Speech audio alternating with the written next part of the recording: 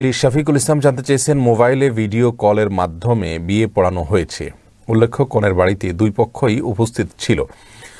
Video কলের মাধ্যমে বিবাহকে অনেক ওলামাইকরাম জায়েজ বলেন, তবে এক্ষেত্রে সবচেয়ে নিরাপদ হলো তাউকিলের পদ্ধতি। তাউকিল মানে হলো কথার কথা, এক পক্ষ দেশের বাইরে আছেন, আর এক পক্ষ দেশে আছেন।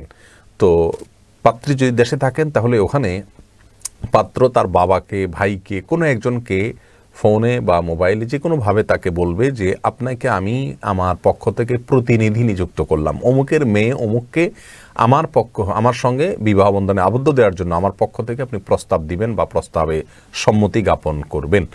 এটা তাকে দায়িত্ব দিবেন। তিনি উপস্থিত সাক্ষীদের সামনে ওই ব্যক্তির পক্ষ থেকে প্রতিনিধি হিসেবে তিনি তাদেরকে আপনার বিয়ের প্রস্তাব দিবেন বা প্রস্তাবিত সম্মতি হবেন। এখন কেউ বলতে পারেন যে সরাসরি করলে আর এই প্রতিনিধির মাধ্যমে করলে পার্থক্য কি? আসলে পার্থক্যের জায়গা হলো প্রতিনিধি নিযুক্ত করা আর বিবাহ সম্পাদন করা, দুটি, দুই জিনিস। প্রতিনিধি নিযুক্তের জন্য সাক্ষীর প্রয়োজন নাই। এবং এক্ষেত্রে আপনার কোনো প্রকার সন্দেহ, সংশয় তৈরি হলেও সমস্যা নেই, কিন্তু বিয়ের ক্ষেত্রে ভিন্ন। এজন্য প্রতিনিধি যদি তিনি নিযুক্ত হয়ে যান, আর বিয়েটা প্রতিনিধির মাধ্যমে হতে পারে যার কারণে প্রতিনিধি আগে থেকে নিযুক্ত হয়ে গেল। এখন প্রতিনিধির মাধ্যমে বিয়ের সম্মতি অথবা প্রস্তাবে গ্রহণ, এগুলো ইসলামে সিদ্ধ। ইসলামের ফিক অনুযায়ী এটা গ্রহণযোগ্য।